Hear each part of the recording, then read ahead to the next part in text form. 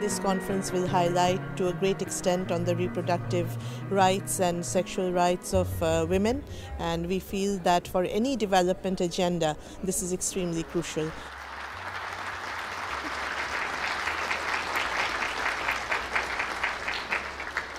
On behalf of the All-Party Parliamentary Group on Sexual and Reproductive Health and Rights, I welcome you all to Sweden.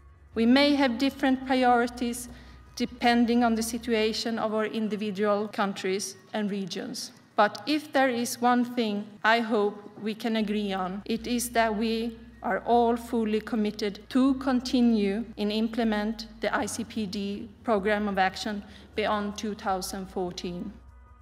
We believe that the future of the ICPD depends in part on how bold you are in this room. We can get the health systems in place, we can get the midwives there, but if we don't raise the status of women in our society, maternal mortality would always be high.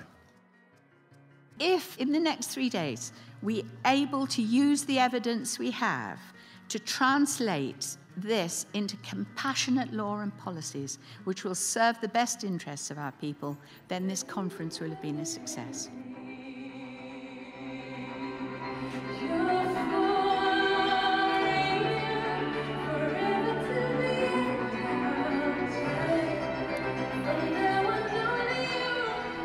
other minute one woman dies, and that is bad. We have to change. We are our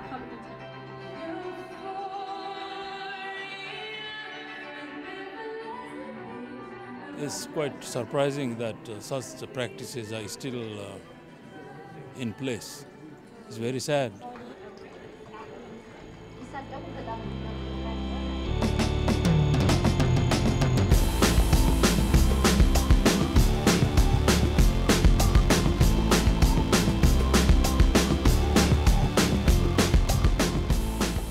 Empowering youth is of course human empowering and is a form of development.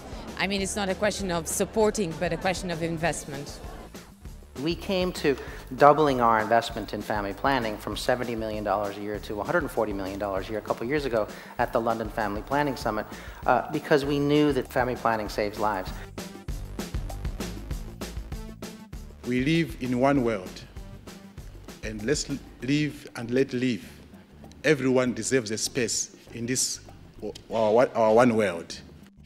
Without visionary and decisive leadership, the Cairo Agreement is just simply a paper. Now may I ask you all to adopt the statement of commitment by acclamation?